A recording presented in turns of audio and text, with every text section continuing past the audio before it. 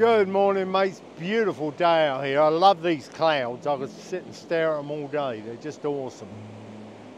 They have got rain showers in them though, so watch them as they come over and I'm looking at a rather large, what looks like a thunderhead over there, a little bit to my northwest.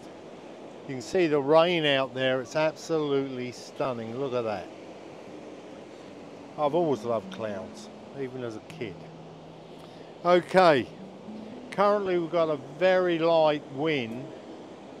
It's blowing from the east. It's going to increase, they reckon. Uh, currently it's about five miles an hour. It's supposed to get up to 15 by the end of the day. Water clarity, I'm going to put that at an eight. You've got four sets, two to three foot at the worst. It looks like the current's running from the north to the south which is strange. That might have been because we had a north wind cut in last night.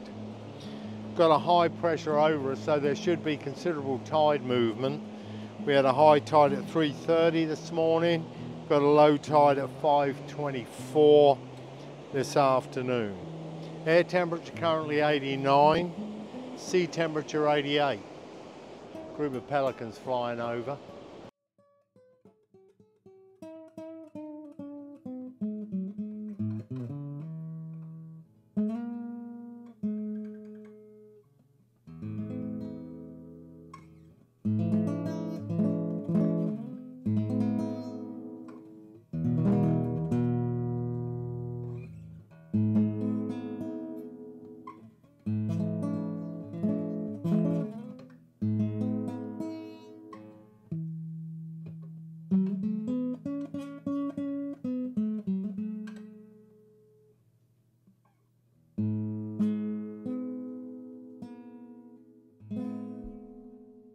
The, uh, they are catching pomp. seems to be the morning bite seems to have been better. I caught pomp yesterday.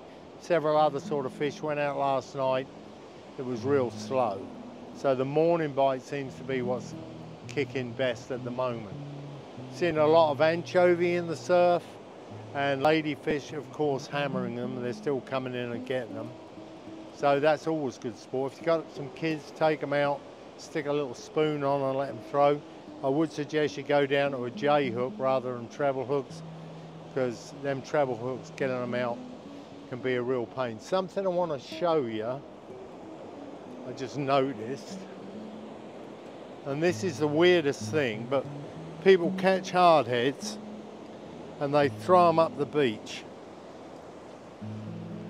That thing will flatten your tires, it'll hurt a kid, and they've really got a job to do. They go around clearing all the crap up. They're quite constructive in a way, and just killing them and throwing them up the beach is ridiculous. You should let them go back in the water. All they do is cause a hazard. I'll put that one in the trash in a minute. So, there you go. That's your bollocking for the day. Um, people keep asking questions. What I'd like you to do is put your questions in the comment and I'll get round to them. I might even add them into a video to make it more interesting for everyone. So if you've got any questions, just stick it in the comments and I'll get back to it. Anyhow, you all have a great day. This is Nickaway from Breakaway. And by the way, when I answer them questions, I'll just give you my opinion. It doesn't mean it's fact. Because often I just think it's shit. All right, you have a lovely day. This is Nickaway from Breakaway. Stay safe. This is your best damn surf fishing report.